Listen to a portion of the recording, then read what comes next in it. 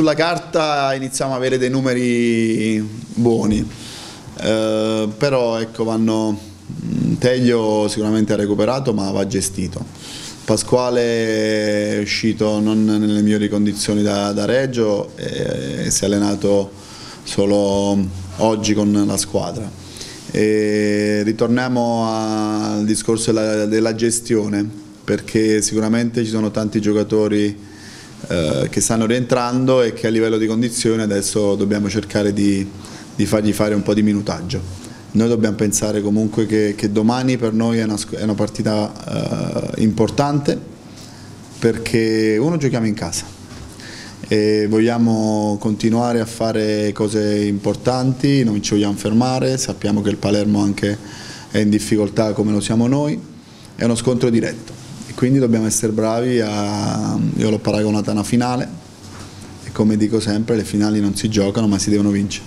In casa devi, eh, devi osare di più e in casa devi, devi avere quella personalità, quel diciamo, quell'arroganza a volte di, di, di, osare, perché poi eh, magari fuori casa vai che sai che, che, ci può stare, in casa sei un po' più conservativo, hai un po' più paura e magari ti viene il braccetto. Mm, però io penso che al di là di questo la squadra ehm, è in crescita, la squadra è in crescita, la squadra ehm, chiunque adesso sta rientrando ha capito quello che, che, mi interessa, ha capito quello che voglio, stanno piano piano assimilando le, le, le, le mie idee e questo sono molto contento perché la disponibilità l'hanno sempre data.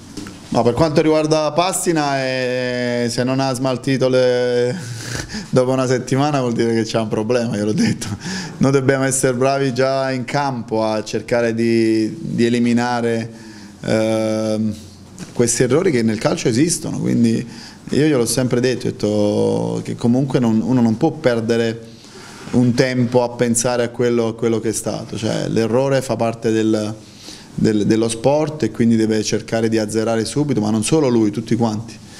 E poi niente, lui si, è allenato bene tutta la settimana, l'ho visto bene, ehm, anche sotto il punto di vista del peso che inizialmente magari aveva qualche problema, adesso fortunatamente tutti quanti sono rientrati in un peso adeguato e questo sicuramente è un segnale importante. Allora, Simi, Simi è rientrato e adesso lo stiamo mettendo anche lui in forma. Eh, spero di dargli un po' di minuti a, a questi giocatori che ecco, sono, sono rientrati. Eh, forte, forte è un attaccante che, che, comunque come tutti quanti vive, vive di gol. Eh, ci parlo spesso con lui, mi piace come ragazzo perché anche lui è, è sempre positivo, dall'anima in, in, allenamento e io ho spiegato che, che alla fine eh, questi periodi per, per, gli attaccanti arrivano e, e vanno superati con, con, la serenità.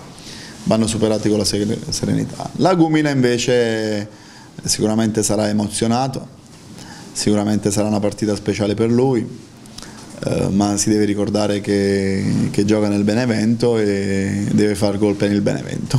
Ciano, Ciano come Veseli sta, sta recuperando, uh, le cose stanno andando molto bene, uh, non so le tempistiche perché poi dipende sempre da, da, dai dottori, um, però siamo fiduciosi sotto il punto di vista su Ciano e, e Veseli.